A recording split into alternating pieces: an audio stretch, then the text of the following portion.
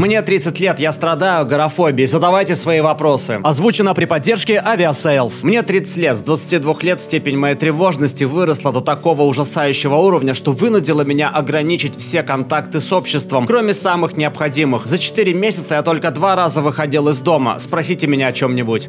Как у тебя появилась эта фобия? Есть ли у тебя друзья? Тебя пугает сам выход из дома или уход из принадлежащего тебе имущества? Психические заболевания, если вы генетически к ним предрасположены, обычно начинают проявляться в возрасте от 20 до 25 лет. Так было и в моем случае. Вся моя жизнь до 22 лет была вполне нормальной. У меня была куча друзей, я никогда не сидел дома и всегда веселился. Однако в 22 года на меня нахлынула эта проблема, и постепенно мне все труднее и труднее становилось находиться в социальных ситуациях. Состояние прогрессировало медленно, но все же было разрушительным, учитывая, насколько сильно оно меня ограничивало. У меня есть несколько друзей, которые очень терпеливы со мной. Это старые друзья, которых я знаю 5 лет или больше. У меня дома не может быть больше двух человек, независимо от того, насколько мне с ними комфортно. В компании слишком большого количества людей я начинаю сильно нервничать. Я боюсь всего на свете. Меня пугает одна только мысль о том, что у меня начнется мощная паническая атака из-за того, что я не нахожусь в месте, где чувствую себя в безопасности. Выходить на улицу и что-то делать в этом мире мне страшно, поэтому я остаюсь внутри. Но чувствую себя ужасно, потому что никогда не выхожу из дома и не получаю никакого жизненного опыта.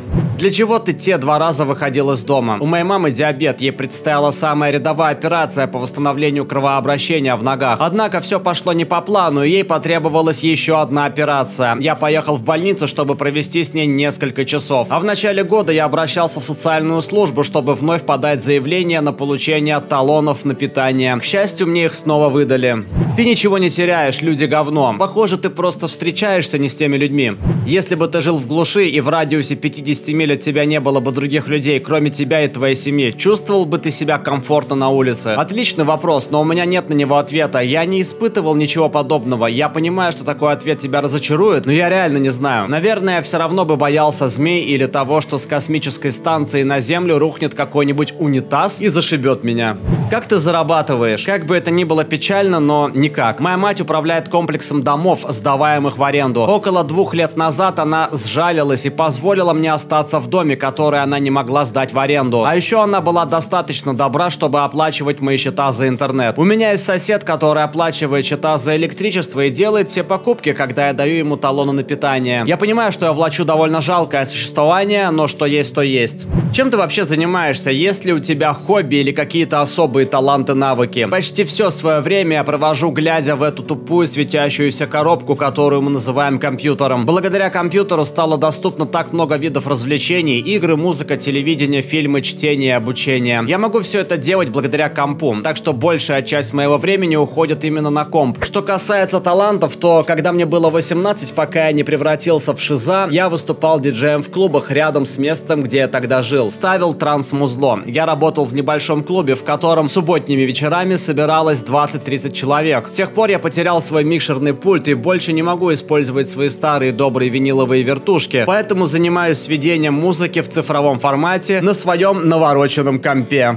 Взаимодействие в реальной жизни это не окей, а в виртуальной жизни такой как это норм. В чем эта разница, которая позволяет тебе справиться с тревогой? То, что я делаю здесь, полностью в моей власти. Если появится куча троллей или идиотов, я смогу закрыть этот тред, удалить аккаунт и больше никогда сюда не заходить. Также большую роль играет анонимность в интернете. Вы все, кто общается со мной сегодня, не ощущаетесь мне реальными людьми. Я могу мысленно отгородиться ото всех просто потому, что вы все общаетесь со мной с помощью комментариев, а не сидите в моей гостиной и задаете мне вопросы. По той же причине, по которой 12-летние дети ведут себя в интернете как мудаки, я чувствую себя комфортно, общаясь со всеми вами. Вы не настоящие люди, просто слова из интернета. Ты когда-нибудь пробовал когнитивно-поведенческую терапию? Из-за острой нехватки денег я никогда не мог позволить себе целенаправленно заняться той или иной терапией для лечения своего заболевания. Я бы с радостью это сделал, но мне неоткуда получить финансовую помощь, так что пока мне приходится довольствоваться тем, что есть. Пожалуйста, не сочти меня бесчувственным, но тебя не угнетает твое состояние. Если что, я не разбираюсь в психических заболеваниях, и мне трудно сочувствовать тем, кто реально страдает от проблем с психическим здоровьем. Я думаю, ты знаешь, что у твоего состояния нет веских причин и что испытывать тревогу довольно глупо. Какое у тебя возникает чувство по поводу своих проблем, когда ты находишься дома и не испытываешь тревоги? Возникает ли у тебя когда-нибудь мысли типа «Боже, как же это тупо, мне кажется, будто будь я на твоем месте, меня бы это дико бесило. Заранее спасибо за ответ и удачи тебе. Очень сильно угнетает. Меня все время бесит, что я не могу пойти и посидеть в ресторане с друзьями или семьей и просто нормально поесть. В этом действительно нет никакого смысла. И это реально звучит тупо. Типа хочется себя просто ударить по лицу и крикнуть «Проснись и иди на улицу!». Однако моя проблема оказывает на меня сильное ментальное воздействие. Оно ничуть не слабее физического. Я буквально останавливаюсь и не в силах идти. Мой разум не позволяет мне сделать шаг. Я будто человек с двумя сломанными ногами, тело которого не позволяет ему подняться по лестнице. Мой разум не дает мне выйти на заправку, чтобы купить печенье. Мне это очень не нравится, и я готов отдать все, чтобы просто чувствовать себя нормально. Обычно. Не хорошо или отлично, а просто нормально. Это что, будет самый долгий тред «Задайте мне вопрос в истории»? Эй, если я никогда не выхожу из дома и не отхожу от компьютера, это не значит, что я буду весь день сидеть за компом и отвечать на ваши вопросы. Эм, ну, может так и будет.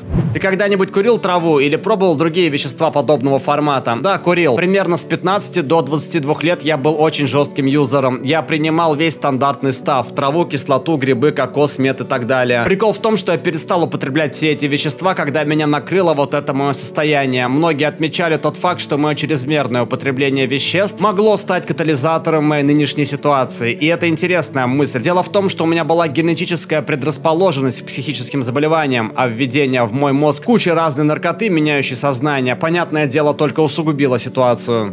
Ты смотрел аниме «Добро пожаловать в NHK»? Есть ли у тебя кто-то, кто приносит тебе продукты, или ты заказываешь все через интернет? Как ты думаешь, если бы ты жил на 10 лет раньше, у тебя бы все равно развилась бы эта фобия? Ты живешь исключительно на государственные деньги? Не смотрел, я не знал, что это такое, но быстренько погуглив, я понял, что это аниме. Никогда не мог понять концепта аниме, слишком странная фигня. Я живу с соседом по комнате, который делает для меня все покупки и прочее. Он просто мой спаситель. Благодаря фантастическим генам, доставшимся мне от родителей, я не думаю, что можно было бы родиться с лучшим потенциалом в какое бы то ни было время. Я родился, чтобы стать шизом. К сожалению, я не получаю даже государственных денег в качестве поддержки. Мне уже три раза отказывали в инвалидности. Может быть, когда-нибудь. На самом деле у меня все в целом норм. Погода снова прохладная, как мне нравится. Не выношу жару. Ты сказал, что тебе становится страшно из-за того, что ты не находишься в месте, где чувствуешь себя в безопасности. Как ты определяешь понятие безопасность? Это когда тебе знакома окружающая обстановка? Что должно быть в этом месте, чтобы ты чувствовал себя в безопасности? Так или иначе, я тебя понимаю. Порой у меня возникает, возникала лишь малая часть этого чувства, и это очень некомфортно. Желаю тебе удачи, приятель. Я думаю, что в безопасности большую роль играет привычность обстановки. Я знаю свой дом и знаю, чего ожидать, когда туда прихожу. Я знаю, что там не появятся неожиданные люди, и никто не постучит в двери и тому подобное. Это среда, которую я могу контролировать. Появление на публике полностью исключает мое чувство контроля, поэтому я просто стараюсь, чтобы все было как можно более обыденно и ожидаемо. И тебе спасибо. Надеюсь, у тебя выдастся хороший день.